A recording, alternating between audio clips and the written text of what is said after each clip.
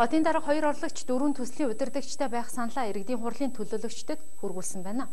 За энэ саналыг төлөөлөгчид дэмжижээ. Өмнө нь орлогч байсан Бат Баясгалан анхмаа нарын албан тушаалын нэршил нь өөрчлөгдсөн ч албан үүрэг нь хിവэрээ үлдэж байна.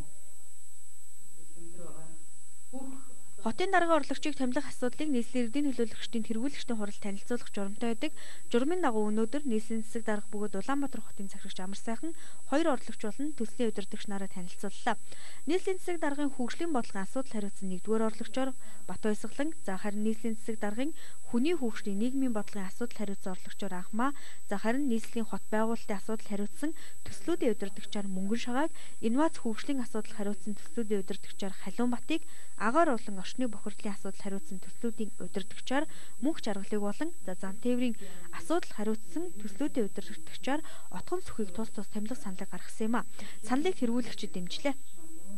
Нийслэлийн цэцэргийн орлогч 2 а төслүүдийн удирдагчаар 4 хүнийг томилж ажиллуулах гэж байгаа. Тэгээ энэ маань бол сая шинээр батлагдсан бүтэц уян засгийн газрын 100 дугаар тогтоолоор баталгаажсан.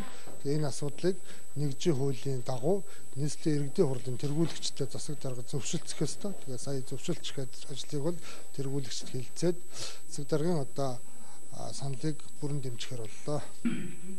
Хотын дарга хоёр орлогч төслийн дөрвөн удирдагчаа танилцуулахаас гадна за өнөөдөр нийслэлийн удирдах ажилтны шуурхай хурлаар олон нийтийн анхаарлыг баггуу татаж олонний шүмжлэлийг дагуулад байгаа туул голын эрэг дагуу газар шорооны ажил эхлүүлсэн Эдэр интернэшнл болон Зүүн Баян Репенер компани барилгын үйл ажиллагааг зогсоохыг нийслэлийн хот байгуулалт хөгжлийн газрын удирдлагуудад үүрэг болгосон юм а.